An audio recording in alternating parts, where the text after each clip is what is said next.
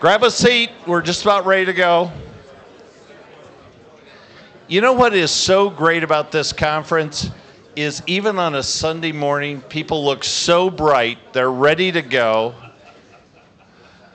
Um, everybody looks very fresh. Thank you for uh, remembering about the change of time. Uh, we are really pleased to finish this year's Brussels Forum with um, panel discussion on uh, the U.S. elections. And we're especially pleased. Here we go. We're especially pleased that our good friend Gideon Rachman has agreed to uh, moderate this session. So, Gideon, I'll turn it over to you. Thank you. Well, thank you very much, Craig, and I'm especially pleased to be moderating this session. I think arguably you've uh, saved the best for last. Certainly, the, the US presidential election is one of the most, possibly the most important global political events of the year, and certainly one of the most entertaining. I think all the Europeans here uh, would extend a vote of thanks to our American friends for laying on such a great show. Um, but uh, Obviously, we'll concentrate on the serious side of the, the vote uh, today, um, and we have a fantastic panel to help us do that. Uh, in the center, we have Governor Tim Pawlenty, who uh, was one of the early runners in the Republican race, perhaps wisely dropped out before it, um, but is, is, is still um, spoken of as a possible vice presidential nominee or a member of a Republican cabinet if and when they get back to the White House. Uh, on his right, uh, well, actually on his left, both literally and uh, politically, Congresswoman uh, Loretta Sanchez, um, who is a congresswoman from not only from California but from Orange County, which I had mistakenly believed was solid Republican territory, but she holds the Democrat flag in, in Orange County. And on the right is Laura Blumenfeld, a senior fellow for, uh, the G- for GMF, and before that, a journalist, a reporter. She told me actually started with, a, like, with the Financial Times, my paper but uh, then worked as a foreign correspondent and a, a, reporter on domestic politics for the Washington Post. So let's, uh, let's get going. There's been yet another primary overnight. Uh, Rick Santorum won handily in Louisiana. And Governor Pawlenty, I mean, there's a sense that this Republican race is going on and on and on and is actually damaging the party and the presumptive nominee, Mitt Romney, who I know you've now endorsed. How damaging is it, do you think? Uh, I don't think it's particularly damaging. Keep in mind, there's a recent precedent. For example, when President Obama and Secretary of State Clinton were competitors, their race went competitively into June. It was full tilt. It was uh, highly uh, uh competitive, and it turned out they turned out to be colleagues and have a successful campaign. You know, on all these things, I encourage people to set aside the spin and just look at the numbers. And so, first of all, in terms of the Republican nomination, I believe numerically, uh, Governor Romney's in a compelling position and will be the nominee. The rest of it is going to be a processing that'll unfold, but I think almost certainly he's going to be the Republican nominee. And then, in terms of the alleged damage implied by your question, if you just look at it numerically, head to head, the measure being how is he doing versus President Obama, in a recent Gallup poll and Rasmussen poll, which are well regarded polls, uh, Governor Romney was actually slightly ahead of the president in a head to head national poll, which is an improvement over uh, polling in recent months. So, this notion that he's damaged relative to the ultimate measure uh, is not statistically accurate.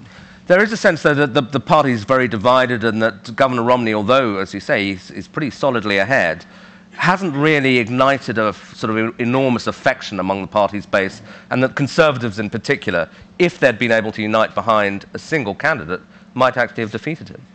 Well, they will unite behind a single candidate. It will take maybe a, a few more weeks or months to get that done. I don't want to be presumptuous. You've got to go earn every vote and still work to the finish line. But he, they will unite behind a single candidate. It will be Governor Romney, and the main motivation for that unifying force will be the hoped for, from a conservative perspective, defeat of President Obama. And there'll be other opportunities for Governor Romney to unite the party. And once they stop uh, this intra party competition, um, the, the, unity that your question implies will occur. And it will occur for a variety of other reasons, too, including who might be the VP selection and a variety of other decisions. By the way, I took my name off that list. I'm not, okay. uh, so I want to set the record straight on that. Okay, thank you. C- Congresswoman Sanchez certainly viewed from this side of the Atlantic, it's prob- probably not the best vantage point, but nonetheless, there's been a sense that over the last couple of months, things have been looking up for the Democrats. The economy has picked up a bit. The Republicans have had this pretty brutal primary race. Uh, every time I see footage of President Obama, well, not every time, but I keep seeing clips of him literally singing in the White House. So, uh, so he, he seems uh, quite confident. Are, are, the Democrats reasonably confident? Well, first of all, he hasn't been in the White House singing because most of those have been fundraising events, and you can't do that white, in the White House, just to let you know. But um, uh, you, you, know, when we began this process of the Republican presidential primary, I mean, my husband and I were looking at each other and we were laughing. We are like, it's like a reality show, you know, where you it's a who gets voted off the island this week type of a situation. Um, you know, obviously, it, to my to my knowledge, it will probably be Romney unless something um, major happens. And you know, I, I don't put too much. Um, emphasis on polls because, as I always say, the only poll that matters is the one on election day. That's the actual vote that's taken. Uh, the poll from Fox News is 46 42 in favor of Obama just this week. So polls will come and go. The presidential race will tighten as we go along. But in, it, you know, when everything is said and done, Obama will be our president once again. That's what we believe from the Democratic side, and that's what we believe as we're out campaigning. We will believe that we will um, that, that we have a good chance to hold the Senate, especially in the last few weeks where things have happened, and certainly as a member of the House of Representatives and a member in leadership of the House, um, working very hard, we believe that we will take back the House. So um, I think this is a good presidential, uh, th- this is a good election season for the Democrats. And is that partly to do because the economy is picking up? Would you have been in, in more wary if the numbers weren't looking better? Well, let's give an indication of what happened this last, th- this last time. When we had Obama on the ticket four years ago, in my district, I won by 70%. In a bad year, a bad year for Democrats, uh, two years ago, I won with 52%. Think about that. So there's no way that this election for Democrats is going to look like it looked in 2010. And the fact that over half of the new Republicans in the House won by less than two points, one with 50, uh, 52% or less, uh, gives an indication to me, especially after having watched them do nothing, um, uh, you know, say ridiculous things, not, you know, not know anything about foreign policy or anything else. Most of these people pretty, don't have the vote. It's pretty evident to me that you know half of those guys are going to lose, and we because of redistricting, which everybody said was going to be back, bad for the House of Representatives for the Dems. The fact of the matter is, we're looking at four to five seats pickups in California. We're looking at picks up pickup in Texas, several seats in Illinois and Florida, and a big portion of that. And the Republicans have been terrible on the issues that affect Hispanic Americans. So I, I view this as a very good election for Democrats. Okay, well, we had. um, should, we, should we just go home now? no, but, um, uh, Laura, we've, uh, we've had uh, strong expressions of confidence from both sides. So, uh, so, so how do you see it uh, as, as a pundit? Right. I, I, describe myself as a recovering journalist. I'm in the 12 step program, and I'm up to the step where you submit to a higher power. and after this weekend, I've decided I'm submitting myself to the high representative of Lady Catherine Ashton, since she seems to prevail over many things. Um, but seriously, as I step back and have a chance to think about it, um, you know, I asked myself, what, what is fresh and what's original? What are we seeing in this election? And so we have a Mormon who's a candidate on the one side, and we have an African American who's a candidate on the other side. It's the first election in American history where you don't have a white mainstream Christian as, as the representatives. And I thought for a minute maybe this is actually a sign of open mindedness in the American electorate, and maybe there's some kind of enlightenment happening here. I mean, we have two men with three Harvard degrees. You know, possibly this election is going to be about real substantive issues. Um, what are those issues? I was wondering. So I emailed a friend of mine who's been covering politics in Washington for decades, about 30 years, um, and he's in the thick of it right now. And I asked him, you know, what everybody says this election is going to be about the economy, but what is it? Is there going to be a really interesting debate about the future of capitalism? Is this going to be about taxes versus spending? Okay, so this is what I got last night from the reporter in Washington about the issues. The sentiment, the overarching sentiment that many people share is that this campaign is not, all caps, going to be about issues, but it'll be about who can tear the other guy most effectively. It will be the ugliest campaign in history. Okay, so much for that. Each side will spend upwards of a billion dollars trying to tear down the other side. We've already seen it in the primaries. And then, they, and then he goes on to say, um, this year will make swift boaters look like softies. So that's a lot of that's a lot of negativity out there. And you know, when you think about that billion dollars, I mean, what's that bill, billion dollars going to go into? It's going to go into the image makers and the and the pundits. And I'm sorry, not the pundits, the the ad men. I wish. now. Un- unfortunately for me, those those ad men send their children to school along with my children. So my daughter comes home at age seven and she says, Mommy, how come we don't have three houses? Mm-hmm. and my son, who's 12, you know, all he wants are expensive sneakers and, and you know, we, we buy his shoes at Payless. So I decided that I was going to call up the pundits, one from the Republican side and one of the admin from the Democratic side. And I said, what, what is this election going to be about? That's what we always ask ourselves. And so, sort of synthesizing the, the three main points, that they said number one, if you're in, you're out. There is so much anti incumbent fe- fever. Um, you know, the, the support for Congress is at 9%. Number two, in this election, I mean, it's been a 50 50 country for years now, but every voter is a potential swing voter. You saw the volatility in the Republican primaries. Um, independents are the fastest growing bloc in our country, and there's even talk of a third party candidate on the election in every, in every state on the ballots. Um, the third thing is when voters open the door and they look at the candidate, they want to see somebody who can fix things. It's the year of the problem solver, is how they describe it. Obama gave us poetry. Bush bought us roses that he couldn't afford. They want a repairman with a tool belt, somebody who says, Here's my simple fix it plan. Um, I think in journalism, every four years we write the story who's the most likable candidate? I don't think they want likable. They don't want to sit down and have a beer with a candidate. They want the guy, the beer is warm, the refrigerator's broken, let's fix the fridge.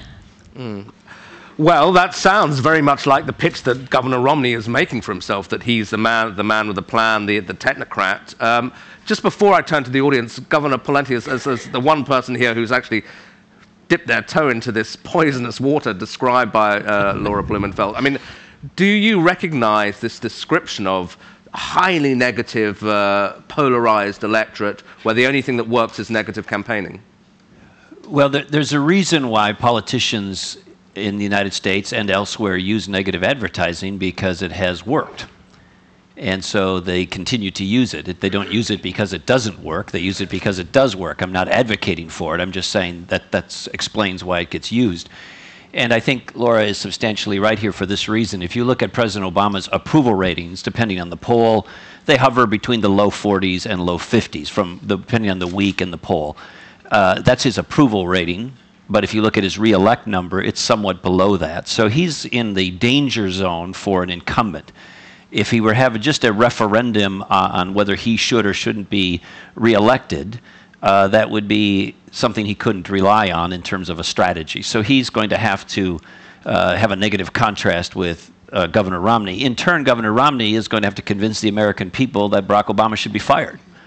And you know, you don't convince somebody to be fired by telling them they did a good job. You're going to convince them to be fired by why he didn't do a good job. And so these are the dynamics that are built into the race, understandably, and it will be uh, a sharp contrast, and it will be a legitimate sharp contrast.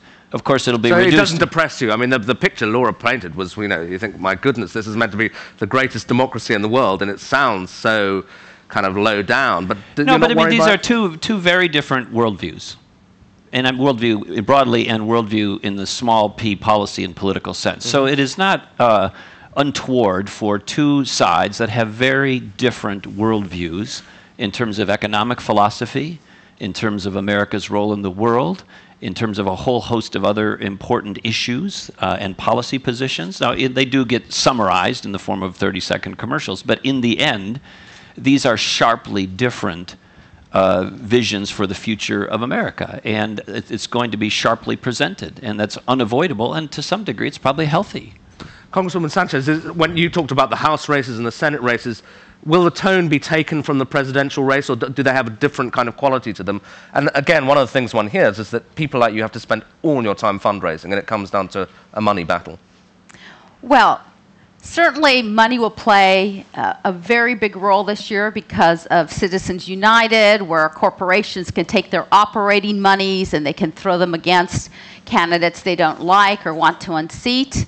Uh, that's because of the Supreme Court ruling. So an AT&T can say, I don't like Loretta Sanchez. By the way, they do like me, but I don't like Loretta Sanchez, and I'm going to put a million dollars against her in the last month of the campaign. So it doesn't matter how much I raise when a million dollars comes flooding against you. And that's really what happened. We saw at the tail end of the last election. That's what happened to a lot of our Democratic candidates. Um, that's how we lost the House to a large extent. Uh, but you know, then you have these super PACs, which are just moving mounds of money in against people. Right now, they're doing it in the presidential. I'm sure we'll see a lot of that in the Senate. We might even see it in the House races. Um, so certainly, the money advantage has always been to the party of the rich. But um, you know, why we're so optimistic that we're going to take back the House is that we have great candidates.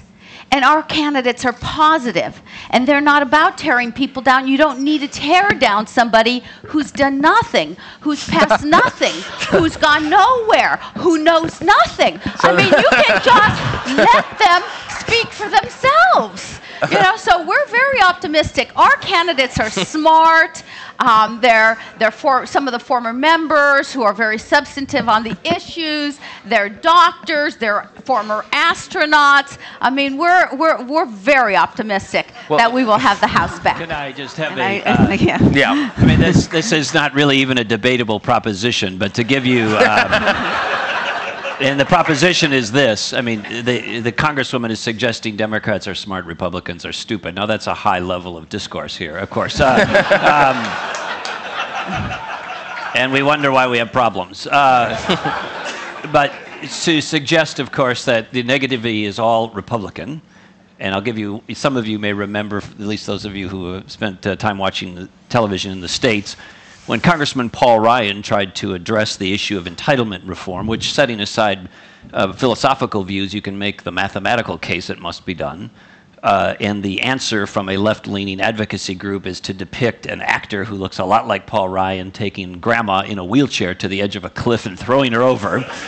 uh, and of course, only the Republicans are negative and stupid. I mean, really? Congresswoman, uh, no, please, please.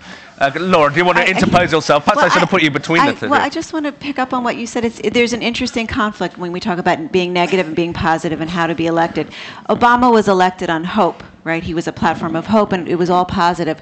But for him to be re- reelected, he's going to really have to use the the the yeah. emotion of fear. Exactly. He'll be he was elected on hope. He'll be reelected by fear. He'll have to do kind of what Bush did in, in 2004, which is say, I know you don't love me, but look at the other guy, and, and do, would you really trust him with the future of American economy and national security? Because I may not be perfect, but I'm you know, doing a reasonable job. And the question is, will Obama, if Obama is willing to be that negative, he, I think he does stand a good chance of being reelected, as Bush was in 04. Um, will he?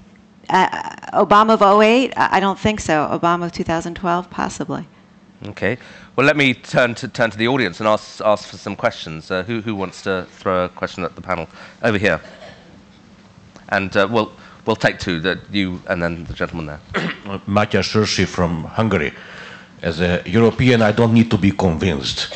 I have no voting right, but my American friends, whom I'm talking with, express their worries that in the campaign so far, they see no leadership or a decreasing leadership. I wonder whether it applies to domestic politics, but certainly applies to foreign politics. I understand it's still the beginning of the campaign in a way. I wonder what the panelists think about uh, bringing leadership back uh, to American politics. Okay. Um, I'm Harlan Ullman, and I'd like to contribute to the sort of Saturday Night Live debate that's going on, which has been very amusing. Um, I'm also declaring myself as a radical centrist who believes that one party has lost its mind and the other party has lost its soul, and you can draw your own conclusions. Um, it seems to me that, irrespective of whomever is elected president, how do you resolve the key issues facing the country in terms of things such as tax reform, entitlement reform? Because it seems to me we have a system that is politically broken, and I don't see anybody who has an idea about how you repair it. Okay. Well, I think both those questions circle around leadership, one on domestic uh, and entitlement reform, the other on, on foreign policy, and whether there's any sign of leadership there. I mean, Governor, you mentioned entitlement reform and what happened to the Ryan proposals. Do you think either candidate will e- even dare have a serious, broach a serious debate about that during the campaign? Maybe a few observations. Uh, one time I had a chance to visit with uh, then President Bush in the White House towards the end of his term, and we were talking about foreign affairs and security issues uh, with a small group of other governors. And he said this He said, I'm not sure who the next president will be. Of course, he favored Senator McCain in, as a candidate. But he said, when that person knows what I know, they will do about what I'm doing. he allowed for some variance, but he said, when they know what I know, they will do about what I'm doing. And so you had uh, President Obama run promising to close Guantanamo. I don't agree with that position, by the way, but that was one of his promises. He made other various promises in this area, but he then actually knew something when he got elected because he got briefed uh, from security and intelligence and terrorism perspectives, and he made some alterations in his views compared to the campaign. But uh, leadership is an important quality uh, and it's, there's one person in the United States and globally who can serve in the role of Commander in Chief of the United States Armed Forces, serve as the, the lead spokesperson for democracy, freedom, human rights, rule of law, free markets, free trade, and the like. And that platform of the presidency of the United States uh, is dramatically underutilized if you don't have a strong, powerful, seasoned, mature, committed, informed leader. And so the leadership question is tremendously uh, important and, and we need somebody who is ready to be president, has all of those attributes and qualities. So I appreciate the spirit of your question. Uh, as to your question, I'm thinking about the way you framed it uh, still. Um, you know, the, the uh, election gets played out for in, a variety of ways. Laura mentioned this dynamic of, you mentioned independent voters. You know, it's an electoral college system you can sort of predict ahead of time, absent a tidal wave election, how many of the states are likely to vote. And so there's going to be disproportionate uh, attention paid to six or eight states. They're Florida, North Carolina, Virginia, New Hampshire, Ohio, Wisconsin, Iowa, Colorado, and maybe Los, uh, Nevada and New Mexico. That's, that's where a lot of the attention is going to be played out. And within that, there's 10 or 15 percent of the vote, which will decide which way those states go. They're not entirely, but they're disproportionately suburban women, blue collar men, and in some states, uh, Latino voters uh, in terms of the, the makeup and area of these swing votes. So that's where these candidates will be spending a great deal of their time and attention. And, and in terms of Governor Romney's perspective on the race, uh, you know, one of the questions going to be asked is, uh, compared to what President Obama promised, did he deliver it? You know, come in and said we're going to uh, cut the deficit in half. Well, he tripled it. Uh, he said, he does, can't get unemployment down below a certain rate, he doesn't deserve a second term. Well, it didn't happen. He made some progress, but it didn't happen. Uh, he's made dramatic other uh, promises, both uh, globally and uh, domestically, that didn't get done. And in the things that he did get done, namely Obamacare, you know, are highly controversial, in my view, misguided. So these, this is not about um, just cynicism and laughter and, and comedy. There are two very different worldviews that are going to be represented by the, these campaigns. President Obama on his own, yes or no, can, does he want to, do people want to reelect him? The answer is probably not. The numbers show that. So he's going to have to attack Mitt Romney if he wants to get reelected. He's going to have to, he and the left leaning groups will take their billion, two billion dollars and spend a good chunk of it attacking Mitt Romney. The Republicans and the conservative group will uh, take their resources and try to make the case why President Obama shouldn't be reelected and why he's misguided and why his view for the country is dangerous or wrong. Uh, and that's, that's why we have elections. So there's nothing you know, untoward about that in the sense that uh, it gets played out in comedic and commercialized and summarized and simplified ways, but it's a legitimate debate about the philosophical direction of the United States of America, and it's a, it's a worthy and grand exercise. Congresswoman Sanchez, do you want to take on those two questions, and particularly th- this issue of leadership, which, which came up in, in front of an international audience? Do you think President Obama has been a strong global leader? He's been slightly haunted by this phrase that cropped up in the New Yorker of leading from behind, that he hasn't actually stepped out in front, say, on the Arab Spring. How would you defend his record globally?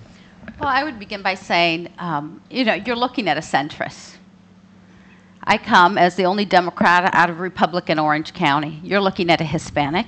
You're looking at a woman, and you're looking at somebody who grew up uh, in the lower income arena. So when the governor speaks about who the independent voter is, I get who that is because I talk to them all day long, and I am part of that class. And so, you know, if you're looking for leadership, and I believe there is leadership, you know, but I see it from a congressional standpoint because that's where I work every day. You, as uh, people overseas and as leaders um, from around the world, uh, what you get to see is what the president is doing.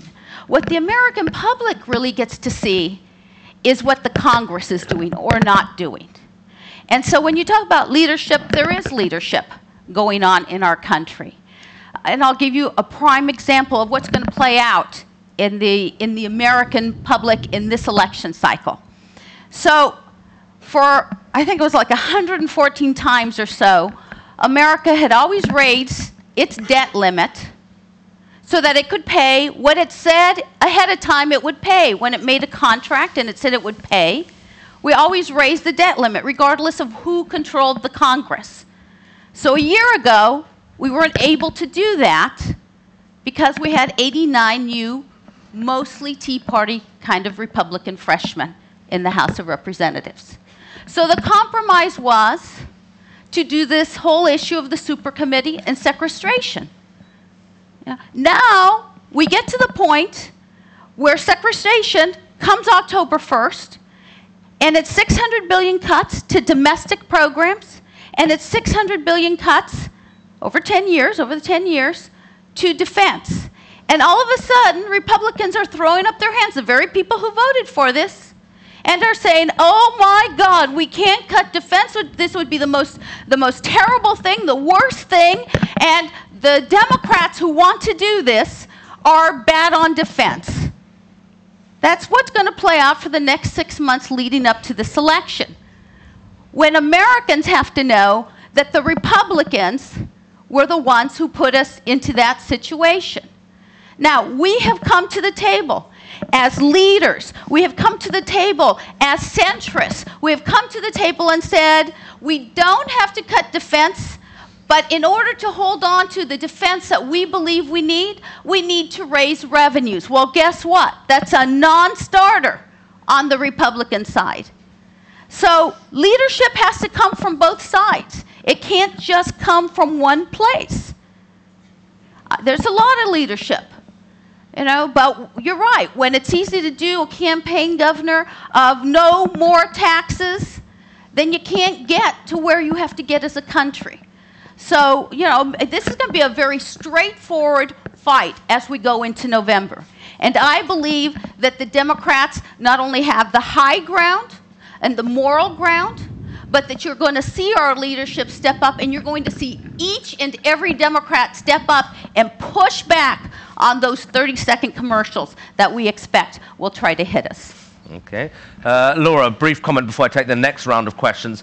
What, what chances do you see of a, of a more elevated debate uh, between, let us say, Romney and Obama? Do you think they, they dare engage, say, on a really difficult issue like entitlement reform in an honest way? I think it's going to be really hard for them to talk about what's actually happening because you, you asked the question about leadership. I think Americans and American leaders are struggling with their own impotence. I, that's why we're talking about contraception so much. Um, I think that. I would have thought contraception doesn't arise in that question, but anyway. Um. We're so virile. Um, I, I, really think it's, it's actually, I, as an American, I actually feel like it's kind of poignant and sad um, you know, the, the leader of the Republican Party, President Bush, um, was forced to basically eat his own policies. I mean, he Republicans stand for you know free markets and not, no government intervention because the economy crashed, and we were forced to engage in massive bailouts. Um, President Obama, he ran on a campaign of engagement with the world, of embracing, of dialogue, diplomacy. Um, you know, he gave a speech in Cairo reaching out to Muslims, but because of national security realities, right? This is all about the economic reality, national security reality. Um, he's talking to them by day, but he's killing them by night, right? I mean, there are five times the drone strikes today as there were under President Bush. So, in a way, the Republicans aren't acting the way the Republicans wish they could be. There's the grand fantasy and the reality, and neither are the Democrats. So, it's very hard to have an honest conversation about that. Um, you know, the land of the free and the home of the brave, we're become socialist hitmen. Um, nobody wants to say that in public, except for me. Well, thank you. right. Um, socialist hitmen, that's a, yeah, not, not a description I've heard of the United States before, but anyway. Um, let me take the next round of questions uh, over there.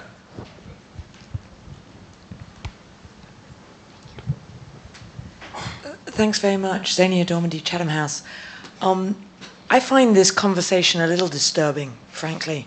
Um, it's fun and it's interesting, but it emphasizes, for an international audience no less, why so many people talk about a dysfunctional America today. Uh, if you're going to achieve, get many of the challenges that everybody has decided uh, we face, um, if we're going to actually respond to them, we have to respond in a nonpartisan way. Um, and there's been a very partisan conversation, and the next eight months is going to be nothing if not partisan.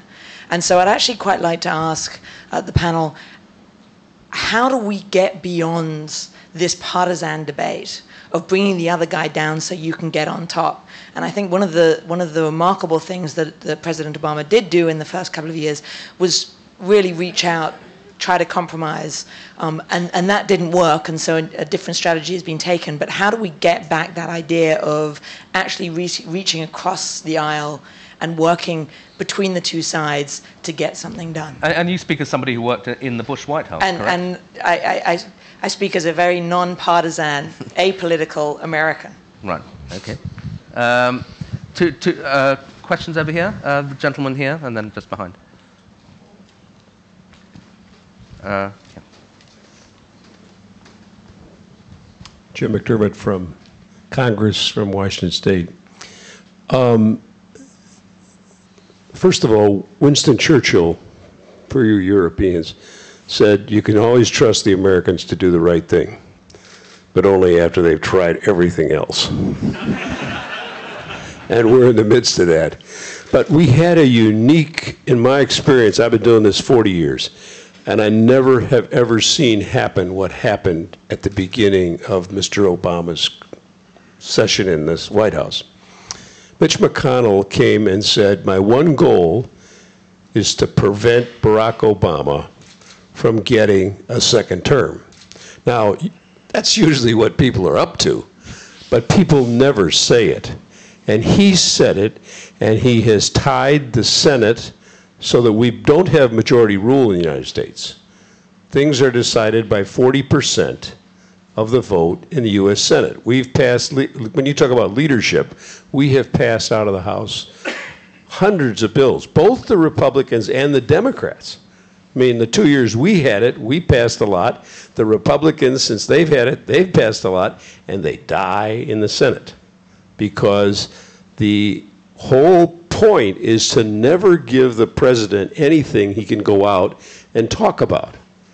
So what Ms. Sanchez talks about the fact that the do nothing Congress, well, it really is the do nothing Senate because we in the House have made proposals. The president has reached out on both sides, and, and maybe Senator Shaheen will talk yeah. about this, but my, my view is that one of the one of the women senators said to me, "I can't. I hope we talk about nothing but family planning until election. We will have every woman's vote in the United States of America." Because the Republican candidates have been attacking women on every single level. And then you get the kind of thing that uh, Mr. Santorum says, where you attack directly people who speak Spanish. He goes to Puerto Rico where they have two official languages, English and Spanish, and says, Well, you folks ought to be a state, but first you got to learn to speak English. Well, you are slapping the largest growing part of our population. And really, what this, the reason this is going to be the dirtiest campaign, I agree with you. It is going to be the dirtiest and most expensive campaign we have ever seen. And it, it really is hanging around one issue. And, and I agree with Governor Pawlenty. There is a view of how the world's going to be. The United States is moving toward a country that is made up largely, majority wise, people of color. And that issue is fundamentally making a lot of people really, really upset. Uh, Barack Obama sitting in the White House, and the fact that you got the Spanish Americans are growing in large numbers, and the voting population is changing in a way that's going to bring about different kind of candidates to come to the Congress. I, I, would, I would ask the question of the panel, the one thing that is tying up the Senate is the filibuster rule. As long as 100 senators all want the ability to tie the country in knots, we can't do anything. So I want to know if you think that the Senate in 2013 will change that filibuster rule so that the government can get back to dealing with things because we have not dealt with the big issues. The world ought to be scared to death of watching us operate. Okay, I will give the panel a chance to comment on that in a second, but we have a senator here from uh, the, the Senate that was just decried for not doing anything. Senator Shaheen. Um, well, let me just respond to that concern very quickly. The Senate has what's called a unanimous consent rule for all of you Europeans who, and a lot of Americans who don't understand how this works. And that means that, in fact, any one person who disagrees with anything that the Senate is trying to do can hold up legislation, can hold up nominations, can keep anything from moving in the Senate. I believe that needs to change. There are a group of us reformers who tried to change it at the beginning of the current session of Congress in 2011. Uh, we were not successful, but I think we will keep on trying because I think that and many of the traditions of the Senate that may have worked very well for the first 200 years are not working well now, and we need to change them. But I, I really want to go back to the discussion earlier because I, I think, as you've heard, there are two very different visions for what we would like to see from America in the future. Um, the governor was correct in talking about that. Um, I share Xenia's concern that we're not talking about those visions and what we really need to do in America because money is corrupting politics in America. And when we have a court decision that says anyone, anybody can spend whatever they want with no accountability, then that means the system is not working right. So, just to be clear, in this presidential race. It's expected that the super PACs on the Republican side will spend $800 million in addition to what the campaigns spend. It's not clear to me how much the Democrats can raise to counter that, but that corrupts the discussion, and that needs to change. And I don't know how the panelists feel about that, but I think the longer I am in Washington, the more concerned I am about that and convinced that we've got to do something about it. Okay, uh, let me turn back to the panel now. All those questions seem to me to circulate in some way around the idea that the system's broken, that part that you can't get beyond this highly partisan debate. I mean, Governor Pawlenty, do you, want to, do you want to respond? Sure. Well, just as a starting point, we should remember the system was designed to temper uh, dramatic or precipitous change by the founding fathers. And so there's an element of that that needs to be factored into the discussion just as a starting point. Uh, number two, uh, everybody in the room is uh, making a comment about, well, we need certain things to happen, and they're not happening, whether you're from a right or left perspective. So people are yearning for change. The change isn't occurring, and so we ask, well, why isn't it occurring? And I think a good question is, you know, what is your theory of change? Under what circumstance does quantum change occur? And I think if you study change historically, it primarily occurs in one of three circumstances, or a combination of one of these three circumstances. One is crisis, another is consensus, or and the third is particularly gifted leadership. So in the United States, we don't have consensus. It's a it's a evenly divided or uh, you know very divided country on most major issues. So it's hard with that split to find consensus on some of the more uh, charged issues of the day. Uh, so, do if we don't have consensus, do we have crisis? Well, yes, we do. Uh, we have crisis as we think about what we're going to do relative to Iran. We have crisis, uh, regardless of your political perspective, you can make a mathematical determination using eighth grade mathematical uh, competencies uh, that we have an entitlement crisis and others. So th- these are undeniably mathematically moving in at a rate and pace where, regardless of who's in these positions, they will be forced very soon, mathematically, to deal with these issues. So crisis is upon us, uh, and that will drive change. Uh, and then you need particularly gifted leadership. And if I might jump to your point, uh, if you're going to be the president of the United States, I think it's helpful to actually have run something as an executive. Uh, there's certain competencies as a person that you need in terms of maturity, judgment, experience, and the like. I was a legislator, I was a majority leader. And with all due respect to the Congress and state legislators, they tend to be lagging indicators of things. In other words, we don't look to the Congress for visionary leadership. Uh, or the execution of the deal. What they generally are are indicators of a sentiment that's already crystallized, that's already developed, and then they react to it. So Congress is usually chasing some sentiment that's emerged as a result of a series of events, either domestically or internationally, to try to catch up to it to say, we're doing something about that, we're doing something about that. There is one person who has the primary visionary role of leader, of executive, and that's the President of the United States. Now, in Mitt Romney's case, he has a tremendous advantage. Uh, he was an executive in the private sector, he's not a creature of Washington, D.C. Uh, he is somebody who uh, governed in a blue state as a Republican. I have a particular sympathy for that. I was a re- conservative Republican in Minnesota. Some of you are old enough to remember Eugene McCarthy, Walter Mondale, Hubert Humphrey, Paul Wellstone, Jesse Ventura, and now United States Senator Al Franken from my state. um, and I governed there as a Republican. And, you know, without being immodest, we did a lot of good things. So, being an executive in an environment that's politically difficult is a very good experience, I think, for somebody who would be an effective uh, president of the United States. But don't look to Congress. I mean, my goodness, uh, with all due respect, these are wonderful people and they serve hard and do well, but they are, uh, they are not the bellwethers of the future vision of our country. They're chasing existing sentiments. The person who can vision cast, has the bully pulpit, has the executive authority and crystallizing opportunity to cast a vision for the country and drive change and enforce it and take the hit needed to actually get the deal done, a la Ronald Reagan, uh, is the President of the United States. And that's why this election is 20 times more important, I think, than you know, what happens in the particular backroom amendments of Congress. I, you know, I was a legislator, you know, like I said, I've done both. And uh, I, your question is important but I think the person who fills that role has to have the capacity. There's no, there's no mystery. I'll just close with this. There's no mystery as to how, what the options are to solve the entitlement crisis. It has been think tanked, white papered, researched, debated, uh, studied uh, to death. There are, Washington, D.C. is filled with shelves of reports over decades and the ideas are so old that they come back as new now. uh, and so there's no question what the options are. The only question is do you have the will to do it? Do you have the leadership and will to do any of it?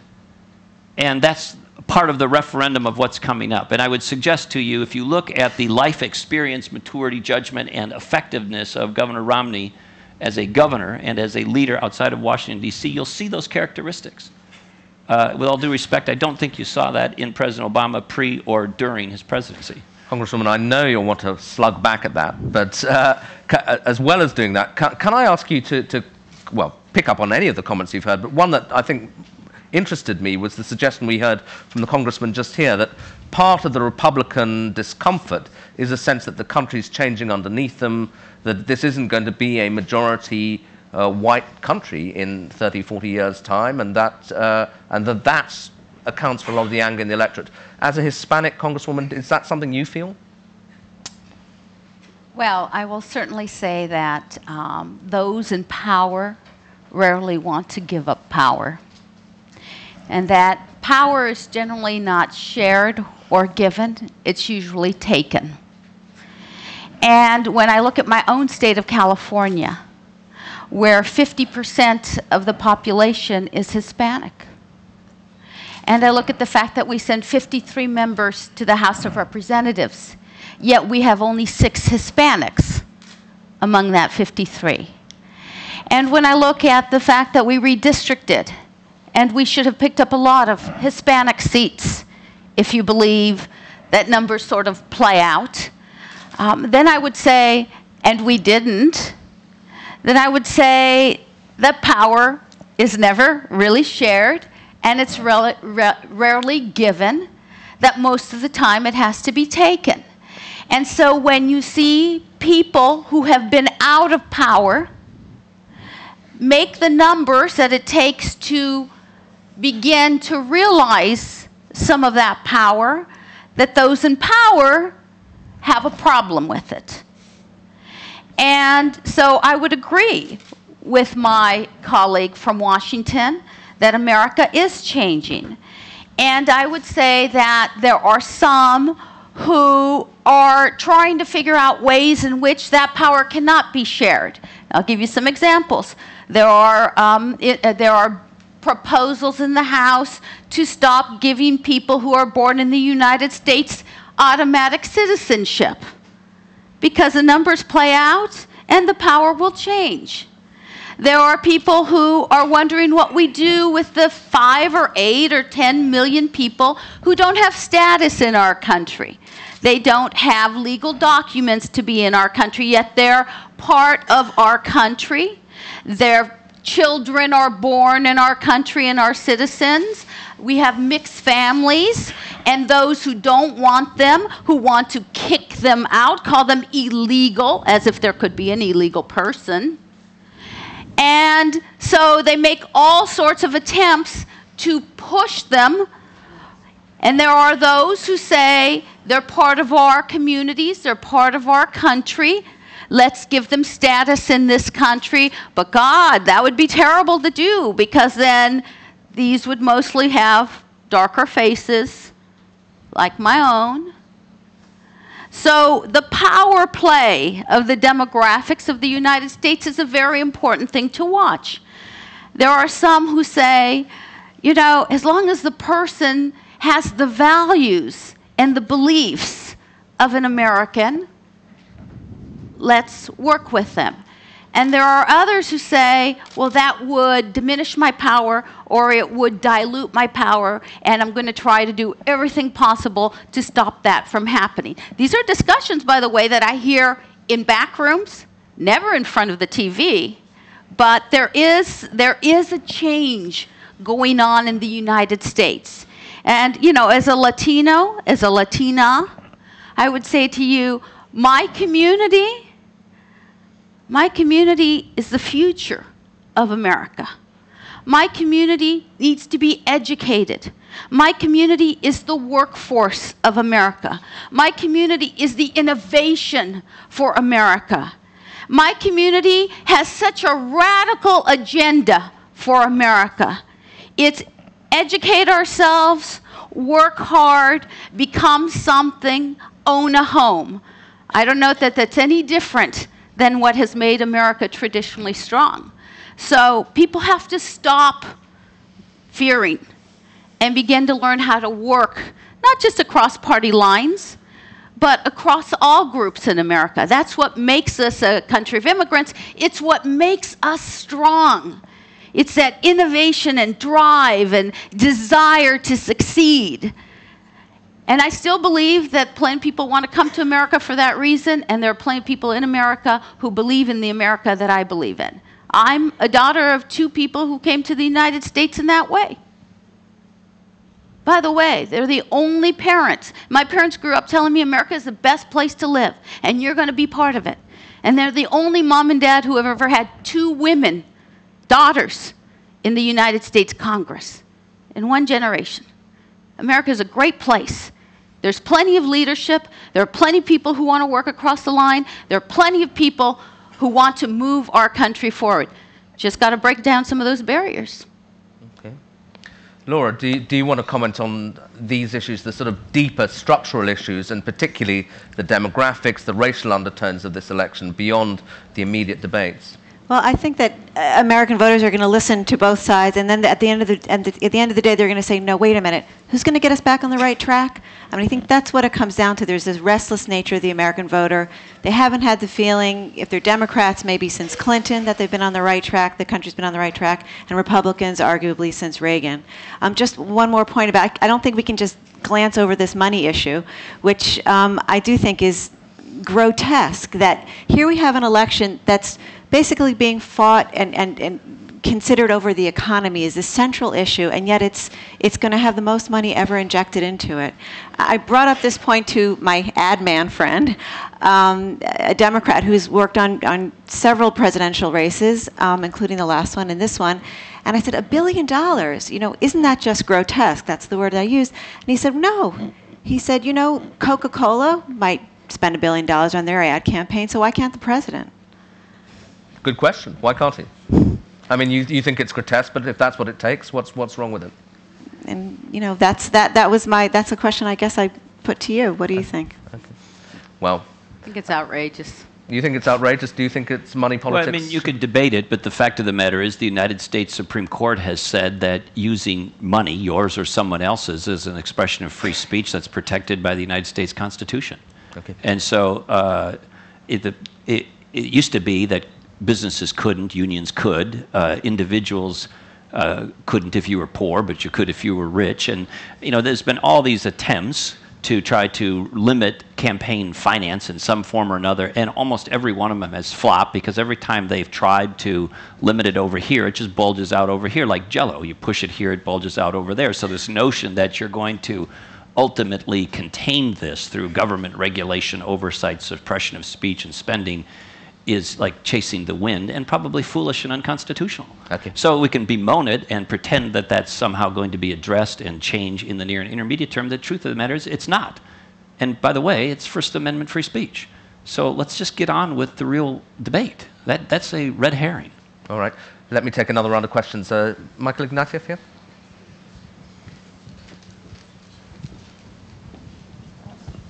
Just very briefly on that, uh, Michael Ignatieff from Canada. And money isn't speech, money is money. And, and there are countless democracies, vigorous, competitive, aggressive, nasty, negative democracies, that do regulate money and keep money from destroying democracy. I just really, with the greatest respect, I just think Citizens United is the worst decision made by the Supreme Court of the United States since, well, Dred Scott. Okay, but I, that wasn't where I was going. I just can I just ask what changes in a Romney administration in terms of the foreign policy of the United States in three areas: Syria, Iran, and China. I'm wondering whether the governor could give us a sense of what what is different in a in a Republican uh, White House uh, under Governor Romney in those three areas. Do you want to just take that and then I'll take Sure. Well, let me touch on a few of those, and I won't go through it in detail just in the interest of time. But by way of example, uh, as it relates to China, for example, Governor Romney has been extremely uh, forward leaning and bold about how he would manage the future relationship with China, starting with uh, saying once he got into office very early, he would label them as a currency manipulator unless they appreciated the yuan with some uh, dispatch.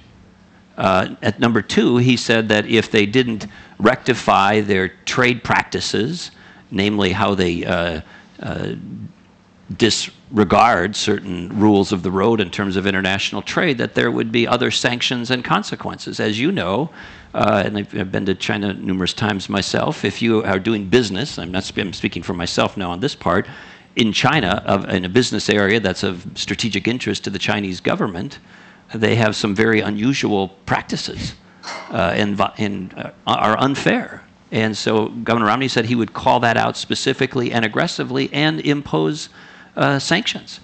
So that, those, that's as, as bold and dramatic as a set of statements as any modern day American politician has, with specificity, has made relative to China, way beyond anything that's been said by this administration or done by this administration. With respect to uh, Iran, Governor Romney said early on that he, if, he, if President Obama is president, uh, Iran will get a nuclear weapon. If he's president, they won't. Now, again, there's a lot underneath the hood of that statement, uh, but in the interest of time, I won't go into it. But it, he's been extraordinarily clear, aggressive, and drew the red line with Iran early on, well before the iterations of the debate that you now see playing out. Okay.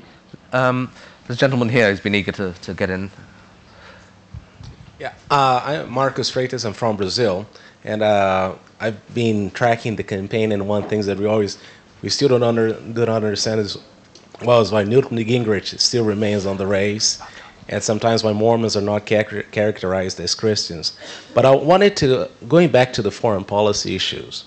Uh, in what ways, uh, Represent, uh, Governor Pawlenty, do you think that we are worse off with Obama in power? In what ways are we better off when it comes to foreign policy with Obama in power? With So Romney I- in power, you mean? With no, no, no. Oh, what In way, what yeah. ways are we worse off with Obama for pre- uh, Governor Pawlenty, and in what ways are we better off with Obama in the next four years when it comes to foreign policy?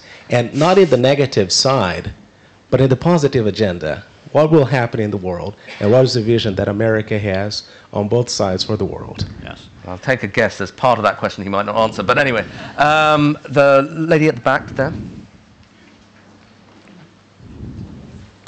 I'm Teri Schultz. I'm a journalist here in Brussels, and I wanted to, to ask the panel. Um, and, and I probably don't see everything in the campaign, but it seemed to me that there's been a significant increase in anti-European rhetoric on the campaign trail um, compared with four years ago. And I was hoping a European would ask that, but nobody has yet. So, so I really have to.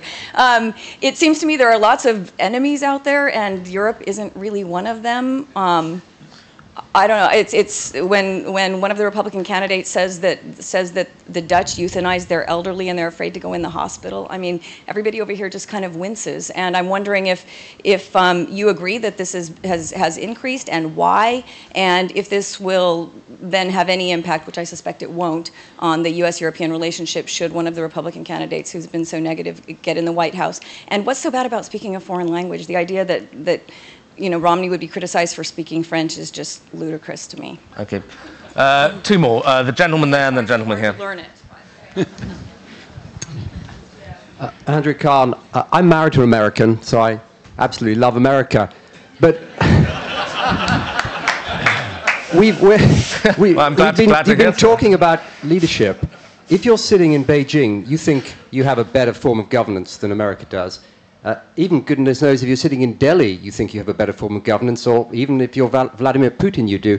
What worries me about the discussion we've heard is that you begin to give some credence to those people's beliefs.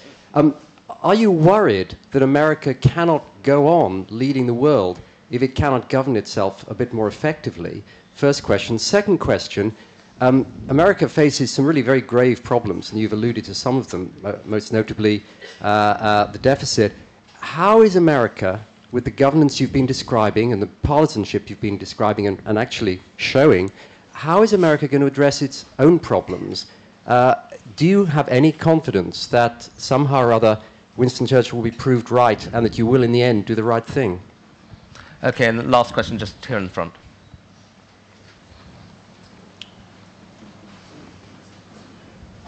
Thank you. Andrew Michta, GMF. Um, just to add to the foreign policy questions here, um, throughout this forum, we've discussed, uh, we even had a session on the strategic pivot. We discussed a lot about refocusing of American attention.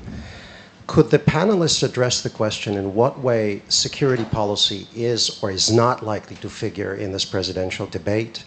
Uh, and secondly, if so, the governor, I think, quite correctly pointed out there's always more continuity than change when the president comes into office. But where do you see the possible changes on national security because we are in this resource constrained environment like never before? So, since the end of the Cold War, we are for the first time actually looking at the very harsh reality of dollars and cents driving the conversation.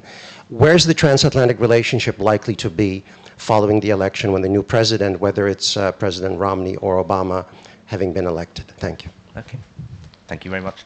Okay, back to, back to the panel. A lot of questions there circling around foreign policy. Europe bashing, does it exist? Is it justified? Austerity, what changes would, will we see uh, if President Romney replaces President Obama? Uh, Governor Pawlenty, do you want to kick us off?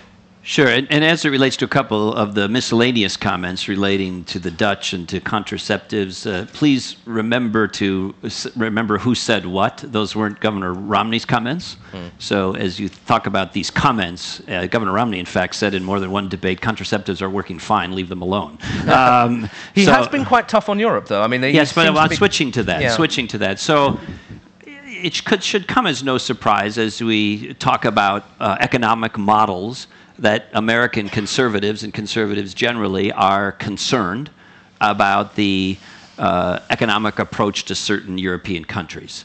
Uh, Greece dominates the news, not that, that Greece is the bellwether for all of Europe, obviously, but it dominates the news in recent months, and so, of course, some of the debate and comments focus on events related to Greece or the fallout from Greece. And so, as, as American conservatives think of uh, incremental movements towards a more government intervention uh, approach a la Europe or a la the Democratic Party, we don't like that. And so, as a reference point for conservatives to say, let's not be, uh, use the economic model of Greece or Spain or Italy is not irrational. It's reflective of the fact that we don't like government excess or government uh, meddling in the markets to, to the degree that we've seen in those states. So those are legitimate examples of government excess. that's not irrational. And it's not intended to be offensive, and I hope it's not uh, taken that way. Now, of course, it gets reduced into sound bites and the like, but it, underneath it, there is a rational reason why it gets referenced. Those are economic models of in distress and of great concern, and contrary to what conservatives uh, believe. On the, on the defense and security and foreign affairs, there are major differences, major differences.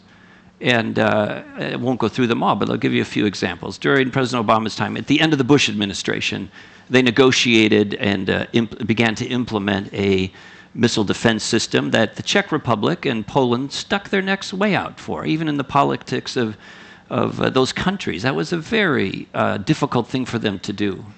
Uh, and they did it in the case of the Czech Republic, radar installations, in the case of Poland, you know, hosting the actual uh, installations themselves. At great risk, great political risk, great risk to the leaders who uh, effectuated those agreements, and President Obama came in and reversed them. Uh, I didn't like the politics of that, and I certainly didn't like the substance of it. And it was very corrosive. I mean, you had, I believe it was Lech Walesa quoted in the newspaper in the United States saying, uh, You can't trust the United States of America anymore in the wake of that decision. Lech Walesa. Uh, another example would be the future of the defense budgets. Uh, the congresswoman foreshadowed the effects of sequestration, and then there's another uh, uh, you know, installment number two of that. And if one or both of those go forward in whole or in part, it will have dramatic negative effects on the defense budget. Mitt Romney has called for that to be stopped, reversed, and to increase defense spending. And uh, as it relates to the Navy and a variety of other strategic assets, expand them in direct contrast to the budget proposal President Obama has put on the table. Now, I must say, if you look at the American budget and the federal outlays of money, and I'll close on this, and you had a circular pie chart colored red and blue, uh, and this is total federal outlays, and you colored the blue part Medicaid, Medicare, Social Security, and interest on the national debt. The blue part is at the halfway mark currently, and at the rate at which it's growing, it'll be over the three quarters line or so within 15 years. Almost all the rest is defense. There's a little sliver in there for parks, prisons, and the other things. So the truth of the matter is, if you don't tackle entitlements and reform them, it will suffocate financially the pie, you know, it will, it will extract all of the oxygen out of the pie chart I just described. I don't believe defense should be cut. I think it should be increased in reasonable manner. Now, it can be you know, made more strategic and improved in that regard, but that's a very different, the, the defense budget, as one example of many, is a very different view between Governor Romney and President Obama. Very different. Congressman Sanchez, do you want to respond? I mean, do you see this stark difference? Well, first to Europeans and you know how they're treated in rhetoric in the United States. I mean, it wasn't a Democrat who put forward a bill in the House of Representatives that changed uh, the name of French fries to freedom fries in the United States. That was a Republican. It wasn't a Democratic senator who poured out all his expensive French wines onto the gutters um, during, you know, and this all happened during Iraq when the French refused to go into Iraq with us. Uh, I remember debating George Allen, who, by the way, lost an election, now is coming back as a Republican to try to win a seat in the Senate. Uh, when Frank Luntz, a big uh, Republican pollster, had us uh, live on television debating back and forth during the Iraq slash French thing going on, where the question was, are the French our enemies or are they our friends? And George Allen went first and talked about how terrible they were, and of course they were our enemies. Then it was my turn. I said, what are you talking about? They've been with us. They've been with us almost through every war. They have the same value systems. They're Judeo Christian based. To which point, George Allen rips the microphone out of my hand and says, Oh, I want to change my answer. Okay, so the Europeans are our friends. Let's just put it that way. And, you know, anything that's used um, to push buttons in America, I think is just incorrect. Now let's go to defense. I alluded to the fact that, once again, the defense issue will be what plays out in the coming months. Democrats are strong on defense. For 16 years, I've sat on the Armed Services Committee, and I've sat on Homeland Security since its inception after 9 11. Those are the two committees that I'm on. In 16 years, America's defense budget has gone from $283 billion to over $700 billion a year. A lot of that was in the last 10 years when we found ourselves in two wars. Two wars which I didn't vote for, by the way. But put money in because when you have people at war, when you have your troops out there, you're not going to say, don't buy them bullets.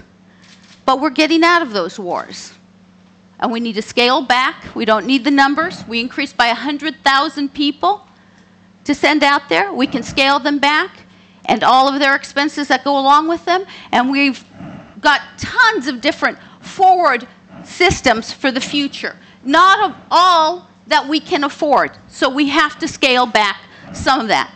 And Governor, as to missile defense, that is the subcommittee that I'm the ranking member of and I've chaired before. And let me tell you about missile defense.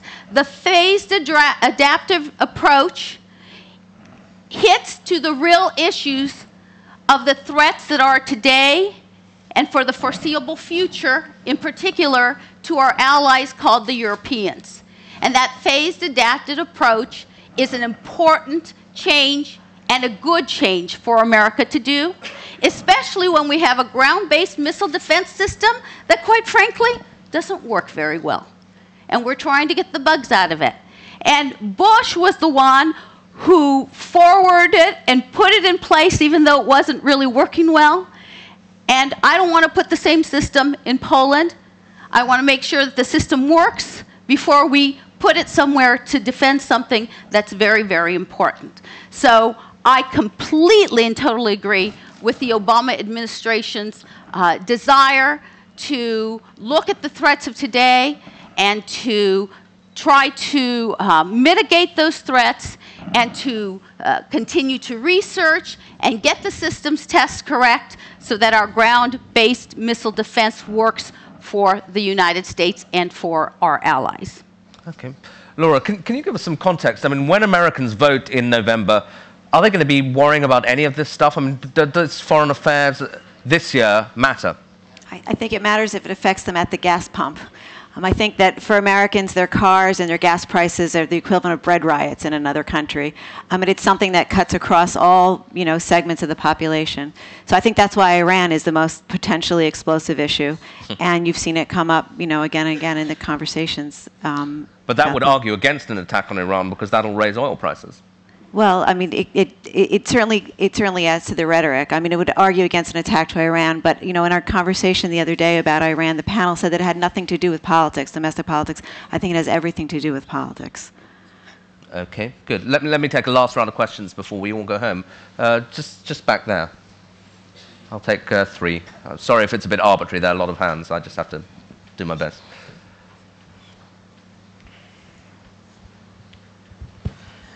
Governor Pawlenty and uh, Congresswoman Sanchez has been. Sorry, could you just say who you are for that? For yes, uh, I'm Kumadev Chatterjee from the European Young Innovators Forum, here with my colleague Nicholas. And uh, we've been hearing this debate with uh, a lot of interest. We've been tweeting about it. Uh, there's one aspect that I thought wasn't addressed till now, and I'd like to hear your views. is what do you, how much of this election do you think is about the generational change in the US as compared to the demographic change and the uh, makeup of society? How much of it is a reaction of one generation to the world and the way it was and the way they perceive it to be, and another generation which doesn't, frankly, doesn't have that baggage and doesn't look at it that way, and you know is looking very differently at. Okay, generational politics. Uh, any any other points here? The lady here wants to uh, intervene.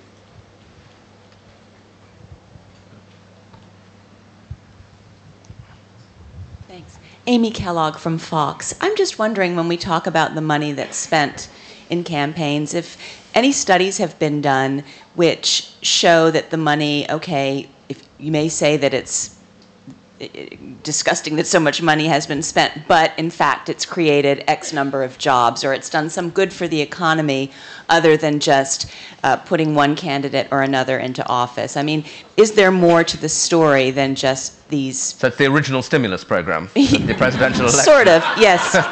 Okay. That's my question. Okay, fine. And uh, last question from the gentleman just here. Joshua Walker, German Marshall Fund. I just want to give the panel a little bit of credit. I think that the fact that you have passports, the fact that you're all here at the Brussels Forum, I think all of our leaders who are here demonstrate something as an American. Um, what I'm worried about is the question of the global issue in terms of in the U.S., the number of Americans who are basically saying, look, the world's a dangerous place, leave us out of it, going back to an isolationist America, return to history of a 1918 America. And so I want to ask the panel how you think about that in the next election, whether it's you know Governor Romney or President Obama. How do we continue to keep Americans engaged in the world and make sure that America continues to lead with Europe in the transatlantic future? Okay, great. Uh, those are questions uh, we, we will have to end on, and I'd also give you an opportunity to, to round up and give, give a view of uh, the debate in general. So, generational politics, spending's actually really a good thing, and uh, the, the threat of isolationism, which we seem to debate every presidential election. But I guess with America pulling out of Afghanistan, pulling back from Iraq, maybe it is a bit more real this time, and, and of course the austerity crisis at home. Uh, actually, since I started with Governor Pawlenty, I'll end with you this time, but uh, we'll, we'll go to, to Laura first. Uh, well, just on, on your question about power and how does America assert power, Are we can become isolationists. I think we're going to assert it in a very different way. I mean, there are conversations about hard power and soft power. I think what Obama found a sweet spot, which is stealth power.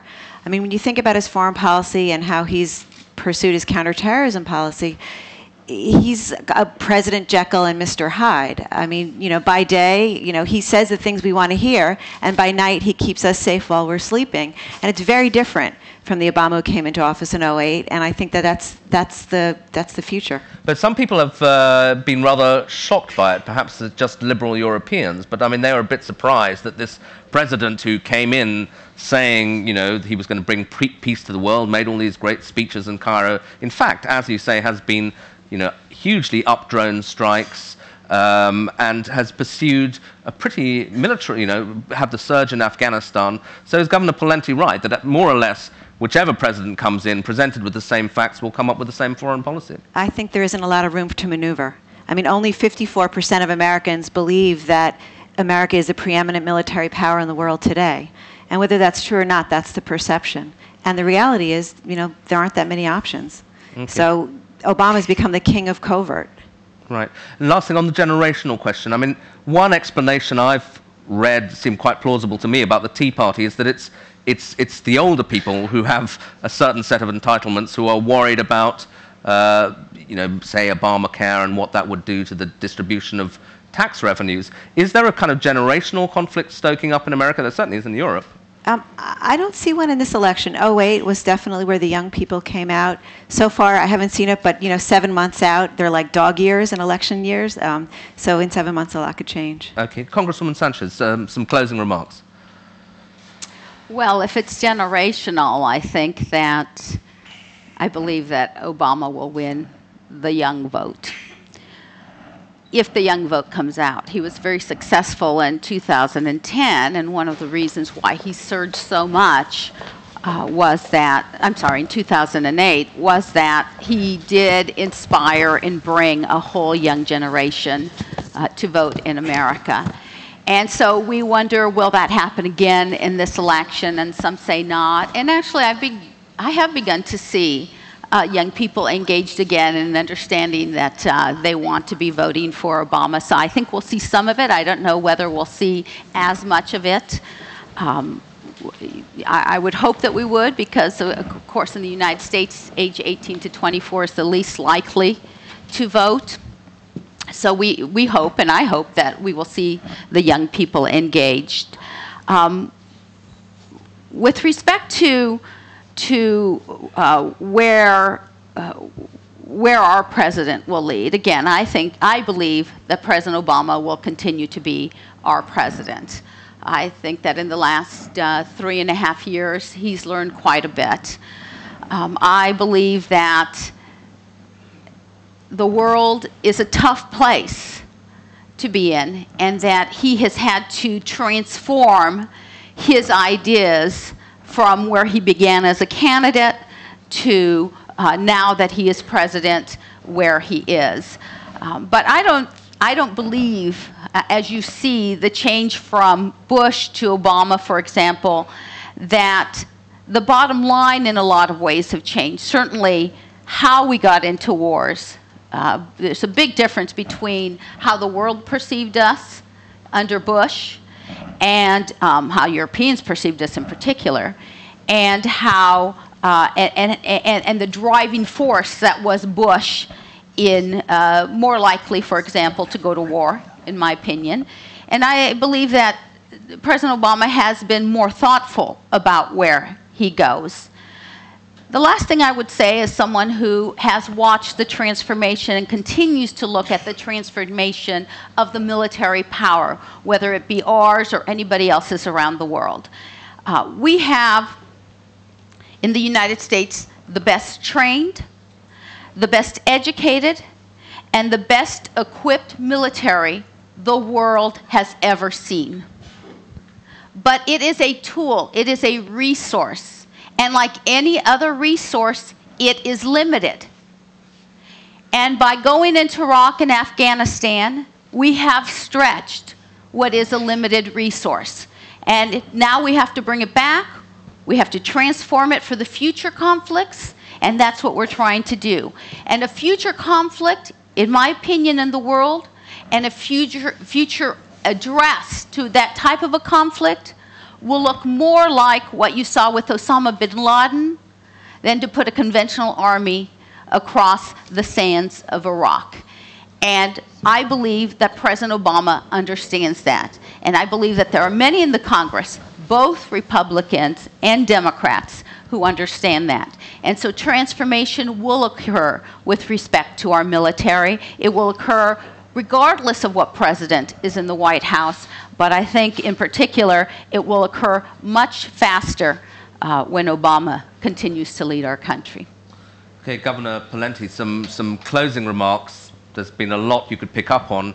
I, I would be interested to hear what you have to say about this whole question of isolationism. And it struck me listening to the debate, really, Europeans, uh, we can understand why, in domestic American terms, the, the choice has to be posed as heaven or hell. You know, if you're a Republican, you know, it would be a disaster if Obama wins, and things would, can only improve if Romney wins. But uh, I guess from our point of view, we want to believe that whoever wins, it'll be more or less okay. And uh, um, is it really such a consequential election for the rest of the world? Yes. And in the view that, eh, you know, it could go this way, it could go that way. What difference does it make? Is false, and I think naive and misguided. Um, with respect to a few of the anti-terror activities, namely the keeping open of Guantanamo and drone strikes, there are some commonalities. But beyond that, there are striking differences as to approaches depending on who the next president is. President Obama chose to engage with Russia uh, in a way different than President Bush, and I think different than Governor Romney has proposed. I would submit to you how has that gone in terms of results? President Obama uh, engaged, uh, wanted to engage rhetorically with Iran early on. Uh, how did that work? He wanted to engage with Syria by bestowing upon them the reopening of our embassy and other uh, courtesies. How'd that go? Uh, he wants to significantly cut the defense budget relative to where uh, Governor Romney would be. That's very ill advised. He's been criticized, I think appropriately so, for his positions relative to Israel, criticized within the United States. Uh, he's, in my view, uh, uh, been appropriately criticized for an arms control treaty that is flawed, and Governor Romney directly and specifically criticized him for that, and now he wants to engage in uh, what might be a second round of arms control based on that framework, and it's uh, in part a flawed uh, framework. And the list goes on. So to say, in light of those facts and different approaches on those most important issues, and by the way, significant differences on the drawdown in Afghanistan, significant differences on what was the drawdown in Iraq between Governor Romney and President Obama. And to look at all of that and much more, if I had time, I could mm. continue the bill of particulars, and to say, eh, what difference does it make? It makes a hell of a lot of difference. Okay, well, just now, but let me let me just finish with one last thing mm-hmm. uh, on the issue of isolationism within the Republican Party and within the United States more broadly, and certainly within Europe, there is a strain of that. You see in the Republican debates, uh, Ron Paul, for example, express what many would consider to be an isolationist view or a more isolationist view. My personal view, and I think Governor Romney's view on this, is that's that's not the correct course for America, that America's role in the world is to be the world leader in all respects, including in security matters and military matters and economic matters and the like. Our goal is not to be uh, one of equals. Uh, our goal is to lead. Uh, and now there's lots under the hood of that. And then as to Europe, finally, it's, it's not just a concern about the examples of government excess in Greece or Spain or, or Italy that get referenced uh, as we said earlier, it, there's also a concern, a legitimate concern, about how Europe perceives threats outside of Europe to Europe or the rest of the world, and their willingness to invest uh, in identifying and, if need be, confronting those threats. And so you saw Secretary Gates, for example, at the end of his time serving under both President Bush and President Obama, give a very blunt uh, expression of concern about Europe's uh, willingness and capacity to engage with those goals in mind. There have been speakers at this conference who have said, uh, as Europe looks around the world, they see no enemies. Uh, a startling statement, a, I mean, a stunning statement, a uh, unbelievable statement from my perspective. Uh, and so we view the world in that regard very differently. And so we share many common values, but there are some developing and striking differences that need to be put on the table. And friends need to be candid with each other. And those are, those are raw and important matters. And if Europe's view is going to be, um, you know, we, we don't see any problem and we're not prepared to uh, invest in the capacity to identify and confront them, you know, we're going to have some issues. Okay. Well, I think that's a very interesting and appropriate note on which to end both this session and uh, entire conference devoted to transatlantic dialogue and a call for frankness with each other, I think is really what this conference is all about. So thank you very much to all of the panel. And Craig Kennedy. That was an excellent way to end. We have um, uh, two last things that we're going to do. Um, one of the things that we've been putting an emphasis on is how do you bring new people into the transatlantic policy community? We have our, our um, Young Professionals Summit that was meeting downstairs yesterday, and I know a number of you were very generous with your time and spoke to them. Uh, we have the ASMUS policy uh, entrepreneurs, and I hope you've all had a chance to uh, talk to some of them uh, the three of them. Uh, we also, with the Ministry of Foreign Affairs here in Belgium, do an essay contest each year for um, uh, young writers who are uh, do creative pieces on the future of the transatlantic relationship. And I just want to quickly hand those out. Uh, the first award goes to Thomas Gietzen. Thomas, are you here? Uh, thank you so much. And the second goes to John Shellhess. Thank you so much. hang on a second because we'll get some pictures afterwards. Uh, but we're really, really pleased that we can find these opportunities to bring young people into it. Um, that is the end of Brussels Forum 7. Uh, I want to thank all of you for really making this, I think, intellectually one of the most interesting we've ever done.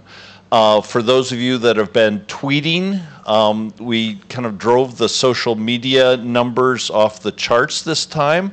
Uh, I know uh, Ambassador Korologos has been tweeting through the whole thing, so um, it's uh, uh, excellent to have this kind of support and uh, and help.